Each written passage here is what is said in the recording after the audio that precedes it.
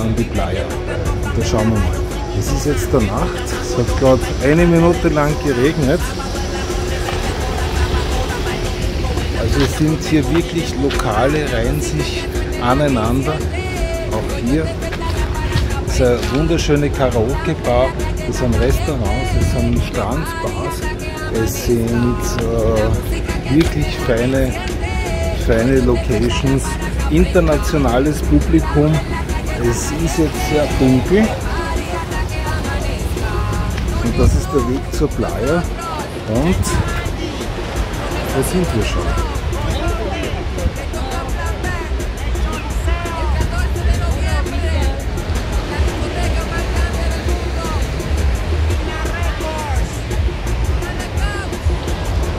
absolute Top-Lage. Wir haben es jetzt ungefähr 7 Uhr und auch heute wird es dann noch abgehen, so ab 9 Uhr. Die Karaoke-Bar sperrt sogar erst um 12 Uhr. Jetzt im Geheimen kann ich ja sagen, im Dunkeln, äh, Katharina ist auch deshalb hier, weil sie wirklich tollen Anschluss gefunden hat. Also da sind lauter Gringos drinnen, also sehr viele auch aus Kanada und, und äh, ja auch paar Deutsche, aber sehr viele US-Amerikaner, denn die haben hier ihre Villen. Also da überall rundherum sind 1A Top Luxusvillen und die werden auch wirklich bewohnt und die Leute kommen dann am Abend da herunter und da findet man doch einwandfrei, ganz locker und ungezwungen Mäzene. Ihr wisst, äh, bei den Erbschaften 10%, äh, Donations, Spenden 20% auf euer Konto.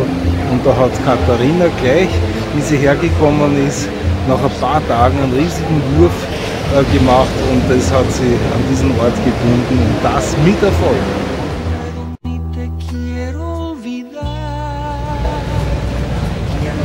Wir haben hier gleich eine Ecke weiter einen Supermarkt. Der ist klein, aber gar nicht wirklich überteuert. Ganz ein feines Restaurant. Könnt ihr nachschauen einmal im Internet. Und ja, da oben ist Disco.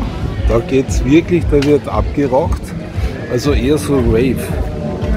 Und äh, also da wirklich vibrieren die Vibes.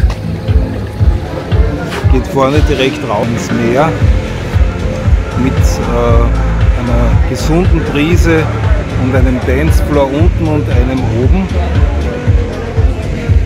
Da haben wir eine Karaoke-Bar. Und da sitzen wir immer wieder ganz gerne drinnen. Die geht bis um 4 in der Früh.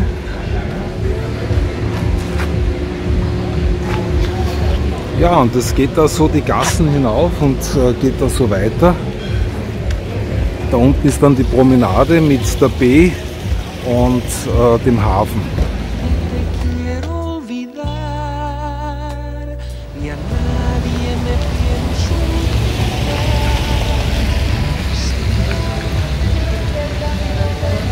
Also ich bin ja leider hier immer nur sehr kurz da. Ist hier wirklich auszuhalten.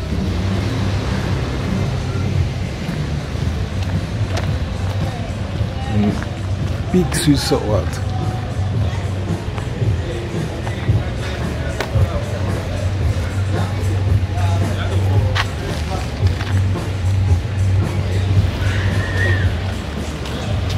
Und hübsche Hotels, schaut euch das einmal an. Hotel Estrella.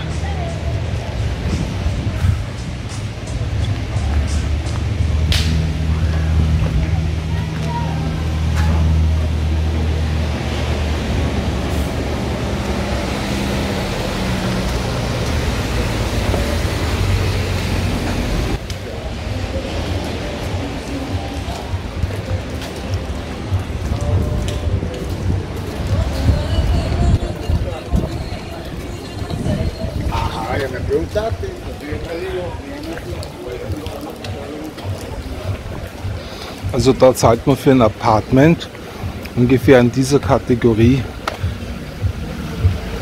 ja, 2500 Dollar.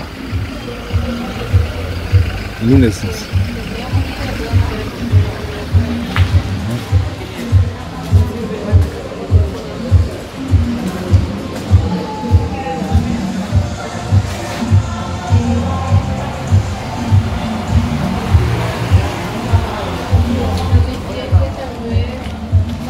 Gehobenere Apartments äh, habe ich hier gesehen, so um 7.000, 8.000 Dollar.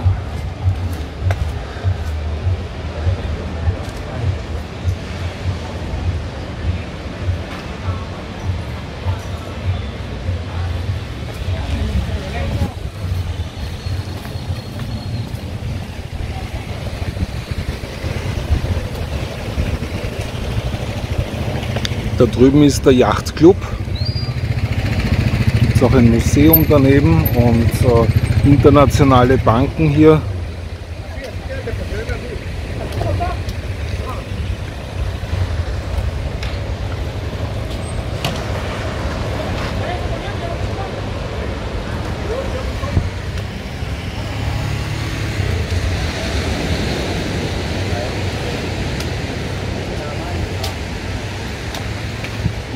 De una. Und da haben wir gleich den Strand, der sich da in dieser, in dieser Bäder so schneckenartig wunderschön formt.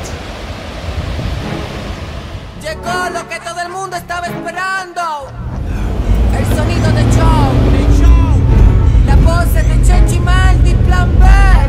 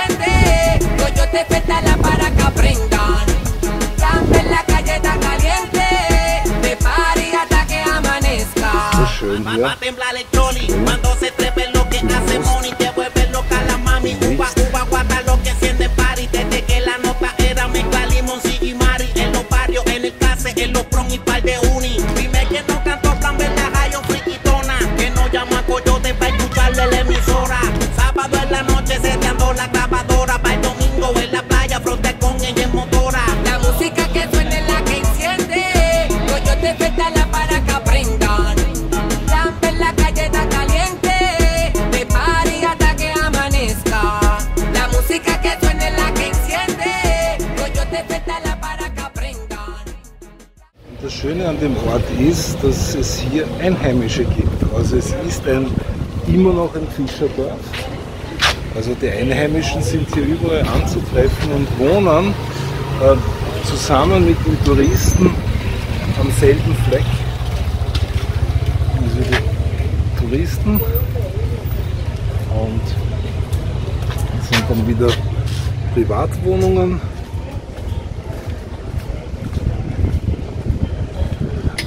Das ist ganz hübsch, weil man ja dann unmittelbar auf die Einheimischen trifft, die sehr kontaktfreundlich und gastfreundlich sind.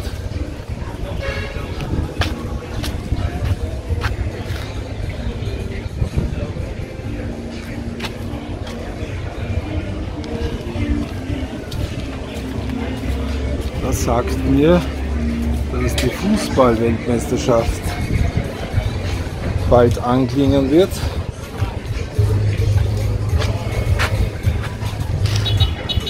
Peace and Cake.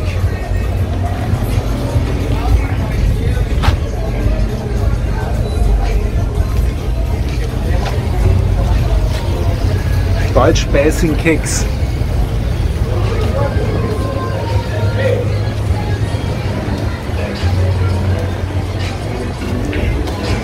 Para Eine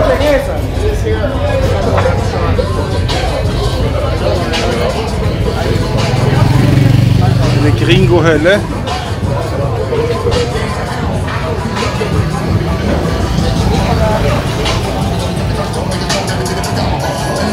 What's that, my friend? It's not vodka. Yeah. Is vodka? No, it's tequila. Tequila. Tesoro que todo el mundo está esperando. El sonido de show. De show. La voz de Chenchi Maldi, Plan B. El dúo del De chamaquitos. Atiendan la clase. Oh, das sind wirklich 40 Prozent. ¿Dónde está? Se murieron.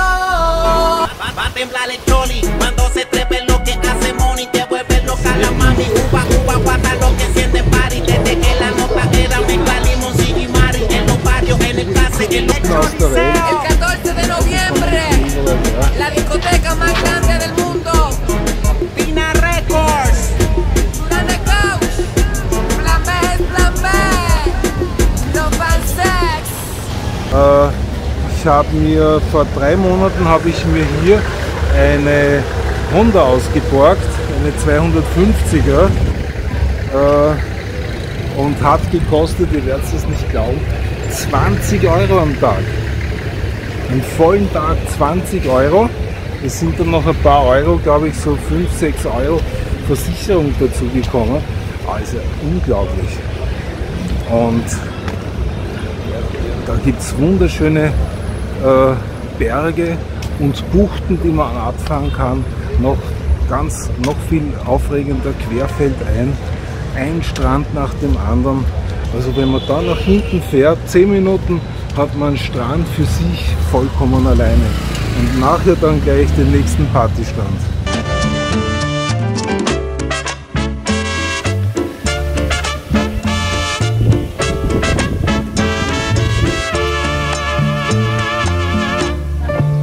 Con mi dolor,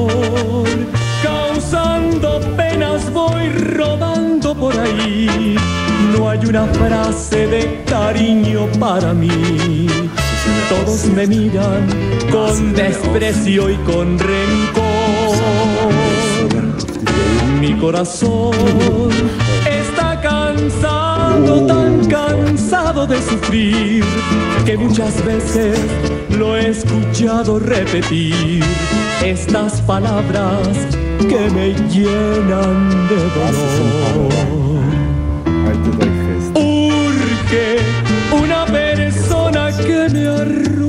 Entre sus brazos, a quien contarle de mis triunfos y fracasos, que me comprenda y que me quite de sufrir. Urge que me despierten con un beso enamorado, que me devuelvan el amor que me han negado, porque también tengo derecho de vivir.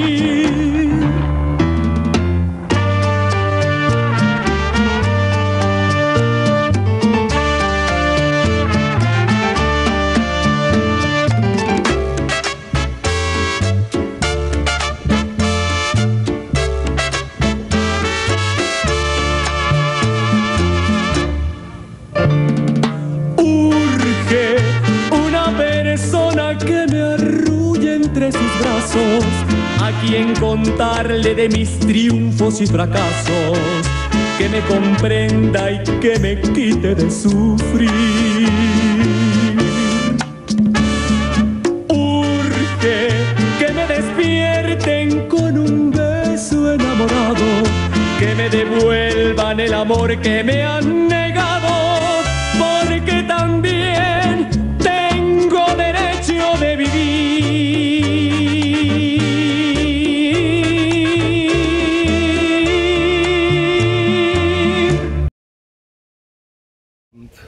Wir haben viele feine Leute kennengelernt, die es zu feiern wissen und immer einen Dollar frei haben für eine gute Sache.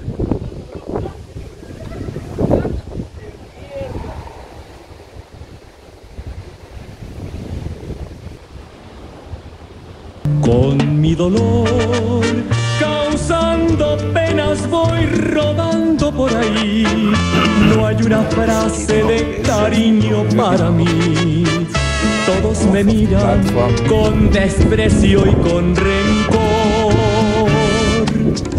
Mi corazón está cansado, tan cansado de sufrir, que muchas veces lo he escuchado repetir estas palabras que me llenan de dolor.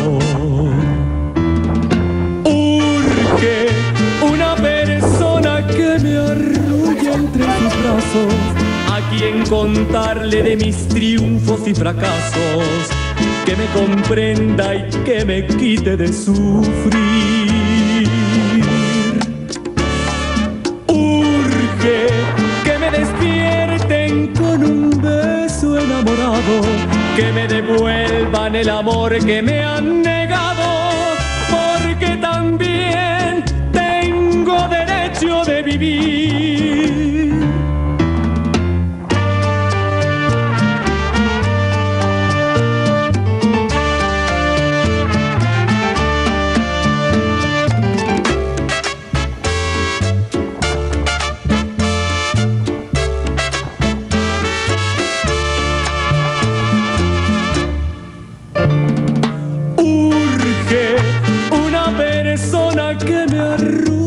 Entre sus brazos, a quien contarle de mis triunfos y fracasos, que me comprenda y que me quite de sufrir.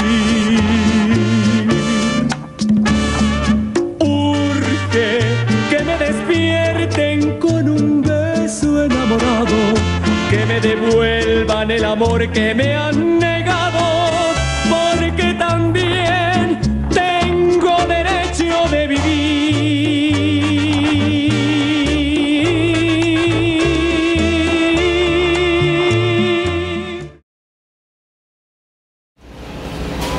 Headquarter San Juan del Sur. Wir haben hier unten gleich äh, einen Swimmingpool und hier ist ein Raum für uns reserviert. Das heißt, wir haben hier Special-Konditionen, das ist so ein kleines Apartment-Resort normalerweise zahlt man hier 70, 75 oder 80 Euro für einen, einen kleinen Raum pro Tag. Wir sind gefördert, wir haben Special-Konditionen. Die Stiftung, äh, wenn es euch hier interessiert, nach San Juan del Sur zu kommen, um euren Laptop hier unten am Strand aufzuschlagen oder in einen dieser hübschen Bars, dann steht euch so ein Loft zur Verfügung. Äh, 350 Dollar im Monat. Das ist wirklich geschenkt. Das ist eine Touristenhochburg. Äh, da kosten Immobilien, also da, wir sind hier gleich an der ersten Linie zum, zur, zur Playa. Da kosten Immobilien äh, zweistellige Millionen. Unser Headquarter San Juan del Sur. Va, va a temblar el choli cuando se trepe lo que hace money te vuelve loca la